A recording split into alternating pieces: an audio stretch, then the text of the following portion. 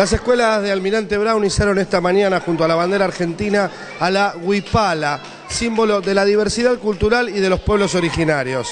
La medida se adoptó en todo el partido tras aprobarse una disposición del Consejo Escolar que impulsa su uso por representar la diversidad cultural en Latinoamérica. El acto formal se realizó en la escuela número 34, Juan Bautista Alberdi, de esa localidad, donde asisten chicos de diversos puntos del país y de toda la región. Surge a partir de que en Latinoamérica se está viviendo otra época, surge a partir de que en Argentina desde hace dos años, el 12 de octubre dejó de ser el Día de la Raza para ser el Día de la Diversidad Cultural. Entonces en el marco de todas estas políticas regionales y nacionales, a nosotros como Consejo Escolar en Almirante Brown nos pareció muy importante estar a la altura de las circunstancias y poder aportar desde nuestro lugar el pequeño granito de arena que es que todos los pibes de Almirante Brown tengan la posibilidad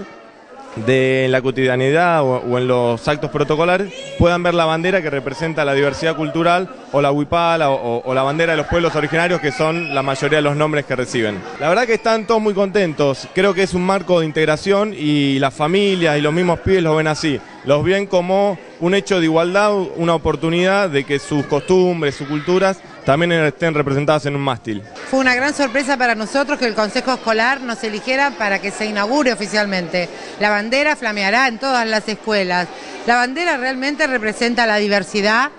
la cultura americana, latinoamericana, de la cual formamos parte. Nosotros tenemos muchas comunidades de hermanos eh, pueblos latinoamericanos, bolivianos, paraguayos, peruanos, con lo cual esta es la mejor manera, creemos, de este, representar la diversidad cultural y el respeto por Sudamérica, que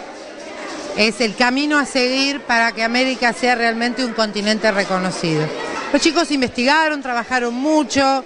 eh, fue corto el tiempo, estamos todavía en proceso de investigación, pero lo poco que pudimos lograr, eh, sobre todo los, los chicos más grandes, trabajaron, investigaron sobre cuánto tiempo, sobre los colores de la bandera, por qué 49 colores, representando a los 49 pueblos originarios. Eh, se empezó un trabajo que va a profundizarse en esta última etapa del año.